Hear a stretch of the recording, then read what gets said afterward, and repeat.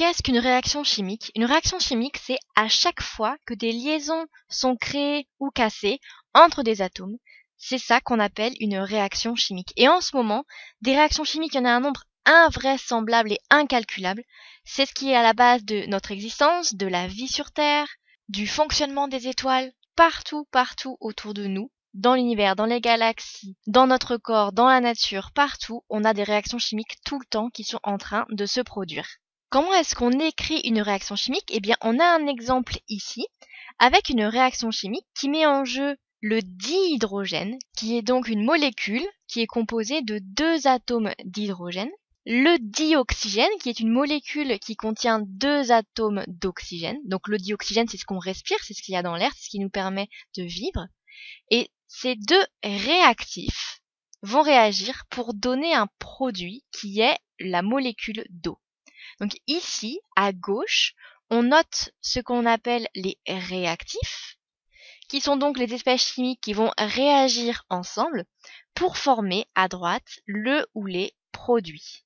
Et on a une flèche qui va des réactifs aux produits. Il s'agit donc ici d'une réaction fondamentale, très importante, puisqu'elle permet la formation de l'eau. Et en fait, il s'agit de la réaction qui permet aux fusées de décoller en faisant brûler ensemble le dihydrogène et le dioxygène.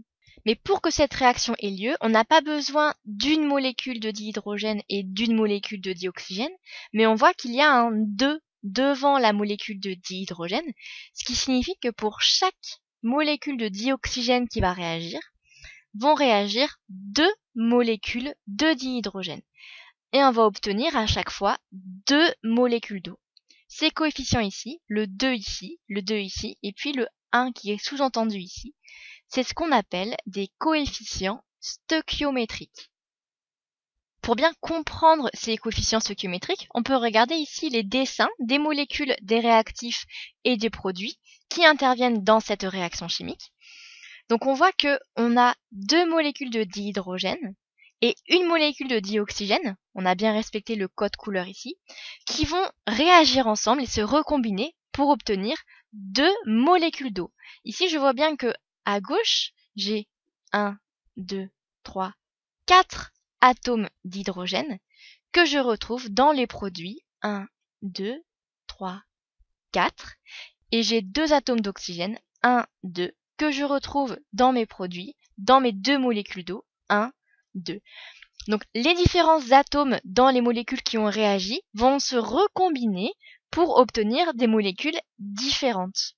Et on a bien besoin de deux molécules de dihydrogène pour réagir avec une molécule de dioxygène pour former deux molécules d'eau, puisque chaque molécule d'eau a deux atomes d'hydrogène il faut donc que pour deux atomes d'oxygène, j'ai quatre atomes d'hydrogène au niveau de mes réactifs.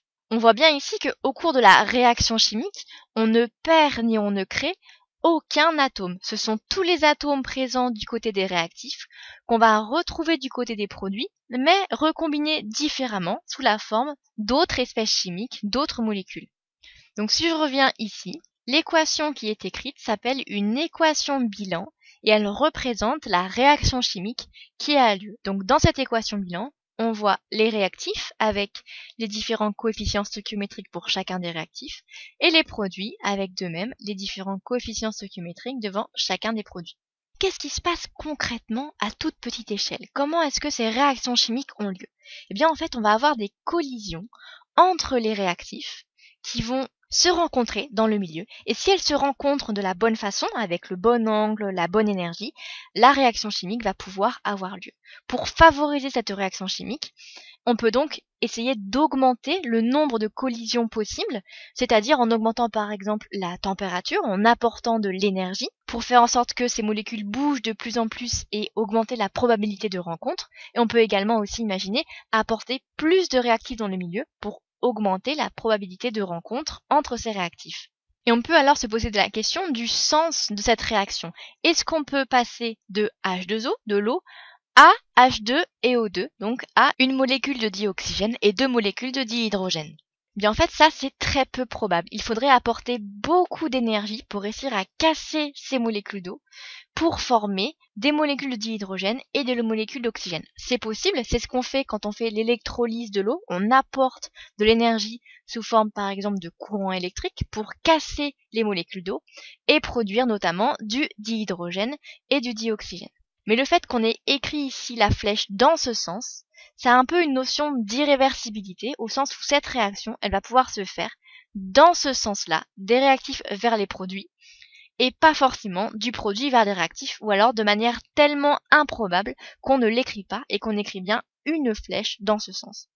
Donc s'il existe des réactions qu'on dit irréversibles, en tout cas qui ne se produisent que dans un sens, ça signifie qu'il existe aussi des réactions qui sont au contraire équilibrées et qui existent dans les deux sens. C'est ce qu'on va voir juste après, avec cette réaction ici, qui met en jeu d'autres espèces chimiques. Ici, on a l'ion hydrogénocarbonate, HCO3-, un proton, H+, avec une réaction équilibrée qui nous permet d'obtenir le dihydrogénocarbonate. Dans cette réaction, ce sont des ions qui réagissent. Qu'est-ce que c'est que des ions? Ce sont des espèces chimiques dans lesquelles on n'a pas d'équilibre entre la quantité de protons et d'électrons globalement dans cette espèce chimique et on va donc avoir une charge. Ici en l'occurrence, pour le hydrogénocarbonate, on a une charge négative parce qu'on a un électron de plus que le nombre de protons qu'on a dans la molécule. Pour ce qui est de cette espèce ici, H+, il s'agit en fait d'un atome d'hydrogène qui a perdu un électron.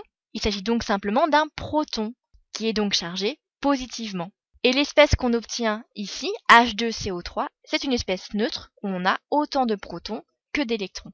Cette réaction est donc équilibrée, ça signifie qu'elle existe dans le milieu dans les deux sens. On a à la fois la réaction entre l'hydrogénocarbonate et le proton, et également la dissociation du dihydrogénocarbonate pour obtenir HCO3- et H+.